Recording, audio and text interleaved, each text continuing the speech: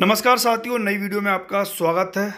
मध्य प्रदेश कर्मचारियों को मंजूर नहीं है एपी मॉडल, यानी कि आंध्र प्रदेश का जो पेंशन मॉडल है, वो मध्य प्रदेश पुरानी पेंशन, तैंतीस चालीस प्रतिशत पेंशन का फॉर्मूला, जो एपी का फॉर्मूला, उस पर काम शुरू हुआ था। लेकिन अब जो है, कर्मचारियों ने यह कहते हुए मना कर दिया है कि एनपीएस और जो है एसपीएस में कोई ज़्यादा अंतर नहीं है। बड़ी खबर है, जानेंगे दोस्तों, आप समस्त प्रकार के कर्मचारी शिक्षक देखें क्योंकि इसको लेकर अब कर्मचारी जो है आंदोलन भी करने वाले हैं। आप सभी को पता है कि एपी फार्मूला क्या है, वो हमने बता दिया था, और उसको एसपीएस बोला जाता है, जबकि ये अभी वर्तमान में एनपीएस कर्मचारी को दिया जा रहा है। तो आइए जान लेते हैं लक्ष्य। कर्मचारियों को मंजूर नहीं है आंध्र प्रदेश का मॉडल।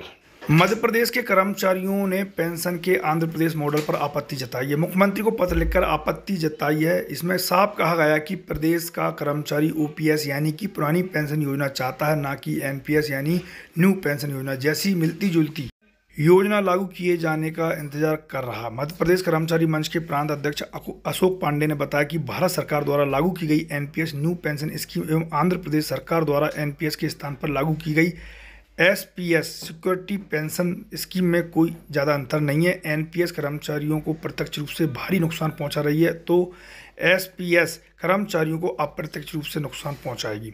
दोनों ही योजना एन पी एस धारक कर्मचारियों के बुढ़ापे की लाठी छीन लेंगी। लेती हैं, दोनों ही योजनाओं के प्रावधान कर्मचारी विरोधी हैं और कर्मचारियों को संविधान में दिए गए संवैधानिक अधिकारों का हनन करते हैं। इसलिए मुख्यमंत्री और मुख्य सचिव से मांग है कि सरकार ओपीएस लागू करने का निर्णय ले, अन्यथा एनपीएस धारक कर्मचारी आंध्र प्रदेश के एसपीएस मॉडल के विरोध में 9 अप्रैल को प्रदर्शन करेंगे।